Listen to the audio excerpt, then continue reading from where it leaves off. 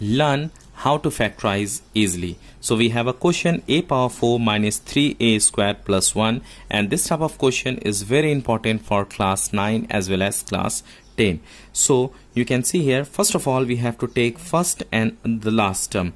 So we can write a power 4 plus 1 minus 3a square. After arranging this we have to convert in the form of a square plus b square. So here is power 4 so we can write a square whole square plus in the place of 1 square root of 1 means 1 so we can write 1 square.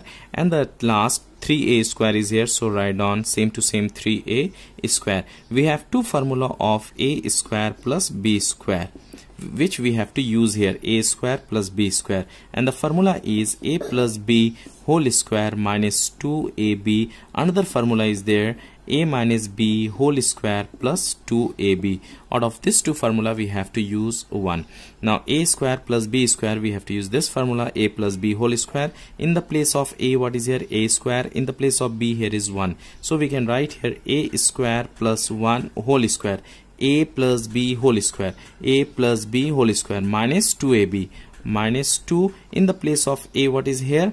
A square. So we can write here a square. In the place of b what is here? 1 1 minus 3 minus 3 a square. Now one thing we have to look at here. Either we have to use this formula or this formula. It depends on this. We can convert this one in the form of whole square or not. You have to look at this part also. Minus 3 and minus 2 these two are like terms so we have to add minus 5 what is the square root of 5 uh, we will get in decimal so we cannot convert in the form of a square minus b square. It means we have to use this formula. For this formula we have to write here plus and here we have to write down minus. Now look at here. Minus 3 plus 2 means minus 1 so we can convert easily we can convert in the form of whole square. So we can write here a square minus 1 whole square plus 2 minus 3 means minus 3 is greater so we have to write minus. 3 minus 2 means 1 1 no need to write so we can write here a square. Hope you understand this part. In the previous video we used this formula okay? By using this formula we convert it in the form of a square minus b square.